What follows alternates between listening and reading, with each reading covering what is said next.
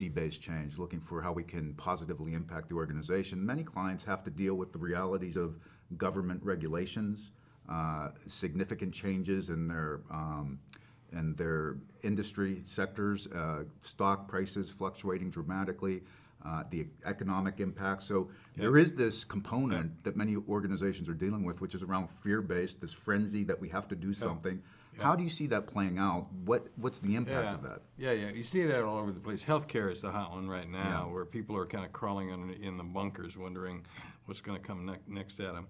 I can remember years ago uh, when the first person introduced me to the metaphor burning platform.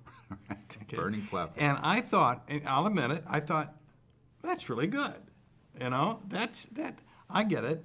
We don't have a burning platform, therefore everybody is content to sit on the platform and not Complacent. not uh, or complacent.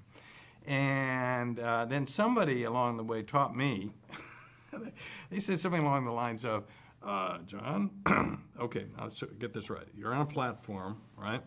And uh, somebody pours uh, gasoline all around you and lights a fire. You probably will get up. Are there any other consequences? well, I say, well, I suppose I could burn to death.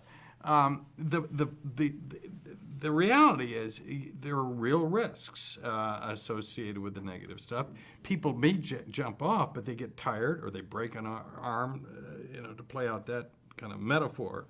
And um, what we're finding, and I'm curious what you, what you see a, uh, among the people you've dealt with over the years, is that um, the psychologists literally are coming up with, and the brain people, that the positive stuff will maintain a motivation over time uh, stronger and better than the negative stuff. The negative stuff can get you going. Okay, you see a bullet coming at you, boom, I'll get off of my chair. But in terms of maintaining energy and motivation over a couple of years, uh, somebody just uh, running from bullets doesn't.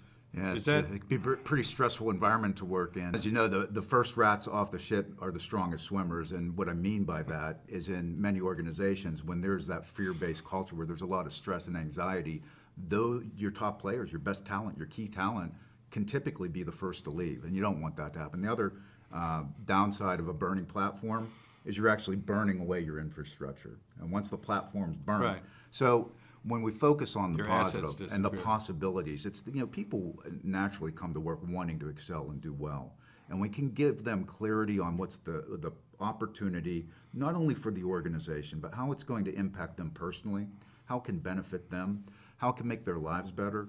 People tend to really grasp onto that, and they they will become self. You know, I I'd like to say that our work actually allows people to self actualize